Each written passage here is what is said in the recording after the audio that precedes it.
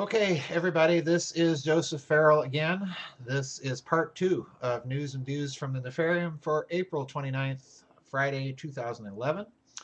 And uh, I was commenting in the previous part about the Japanese bearer bond scandal and some comments that I had received from all of you, as I knew I would, on Thursday's blog, probably again uh, on today's blog with the a bit about the documentation of the banks. Well, the other commentator that really came up with a very important piece of information was a, a gentleman by the name of Paolo Trapanese, one of my Facebook friends.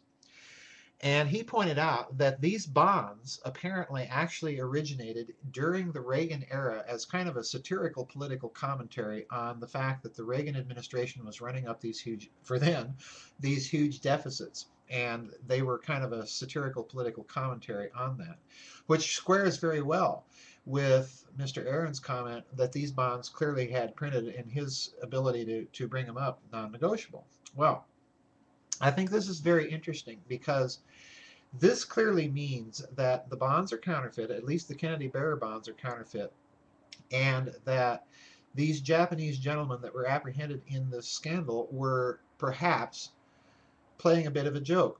But what I find fascinating here is the implication that these things are connected to the Reagan era, to the massive expansion that took place under the Reagan administration, both administrations, of the American defense establishment. We saw really uh, the space shuttle fleet was just at the beginnings, and now we know that Reagan put in his diaries that somehow managed to get published a comment that the United States, at the time that he was briefed, had the ability to shuttle approximately 300 people on the basis of its shuttle capacity, which was way beyond anything our actual normal public space shuttle fleet even had the ability to do. That comment of Reagan in his diaries implied, for some people it implies for me, that there exists a secret off the books capacity, space capacity.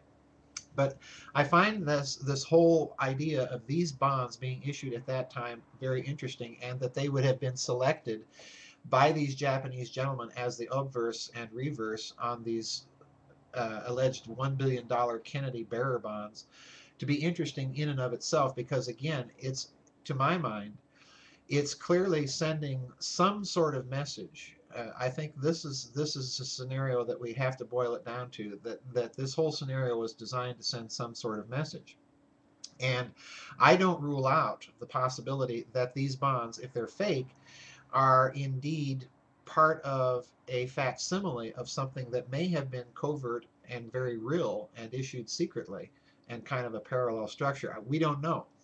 The thing that I find fascinating about Mr. Trapanese's comment here and, and the information that he's provided, and I think it's valuable, I think it's supremely valuable information, is if we look at the early media breaking the story of these bonds, one of the media organs that was following the story very carefully, if you can go back on the internet and check this out, was a news source called Asia News. All right.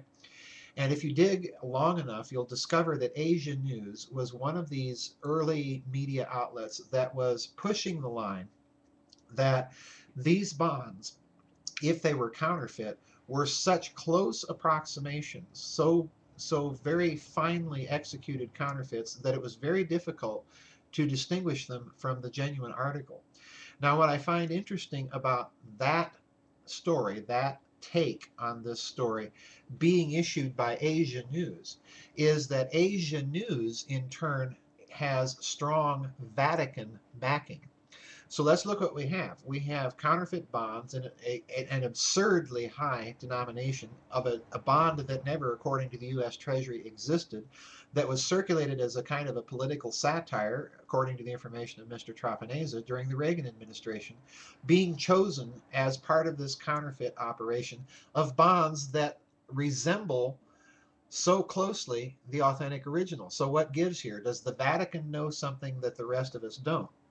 I find that whole approach that Asia News took very curious because the only other media that was reporting the fact that these bonds were apparently so close to the authentic issue was the German media. And as far as I can tell, they, the German media may have shifted its story since then, but at the time they were promoting the idea that these bonds were, were quite legitimate. And that to me is very interesting. You've got a German Pope, you've got the German media, you've got the Vatican backing all this. So, friends, this is a really big story.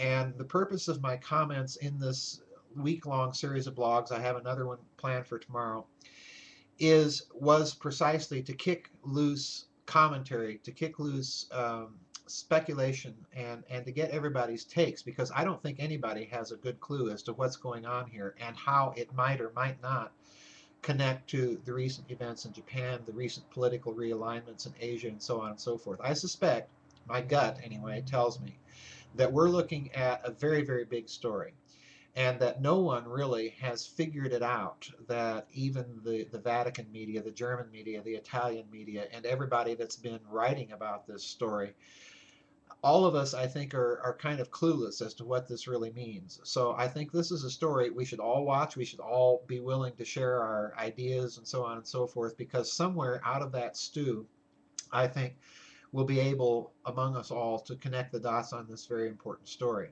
And uh, if there's more in developments that any of you find out, please share them with me, share them with others that are interested in the story, because I think this is a really, really important story. Uh, one announcement before I leave uh, for this uh, news and views of the from the Nefarium is I heard from Adventures Unlimited, and Grid of the Gods is at the printer. It should be out sometime in May. They're telling me the end of May. Uh, I suspect it may be a little sooner than that. So keep the dial right here, please, and I will let everybody know on my website and, and Facebook page when Grid of the Gods gets out. Um, I'm trying to finish up a, uh, another couple of books right now, and uh, I'll let everybody know what those books are in due course. I've got a white paper I'm still working on on Breakaway Civilization for the members only area in the uh, on my website. I've got a couple more white papers planned. I hope to be able to get to those this week. So I'm super busy. I appreciate everybody's comments. Once again, you don't know what they mean to me. I, I really do thank you, especially those two gentlemen that shared that uh, two pieces of, of, very crucial information. And uh, I want to thank everybody again for, for the prayers and support on the website, the donations, and so on. Uh, the, the research I'm involved in right now is, is colossally expensive and uh, way beyond what way beyond what I had budgeted for for these two books. So I want to thank everybody again, and we will see you on the flip side. Bye-bye.